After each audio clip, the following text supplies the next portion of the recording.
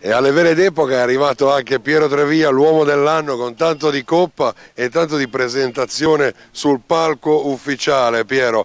È una nuova sfida accettata, ma di nuovo con, con Oneglio. Una rivincita. Facciamo, accettiamo la rivincita, siamo sportivi, eh, siamo dei signori, accettiamo ben volentieri lo sfidante di, darci una festa nella festa a questo, a questo raduno che è veramente splendido. Siete arrivati nel momento della partenza delle vele.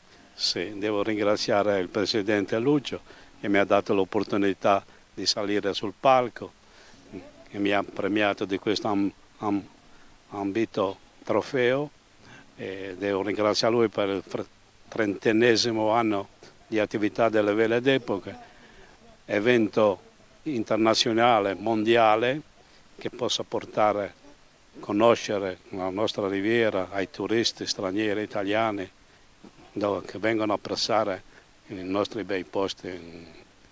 E allora che la festa continua e anche la sfida, non solo quella in mare, quella anche a terra fra Piero Trevia e Gianmarco Neglio. Bene, grazie a tutti, saluto a tutti.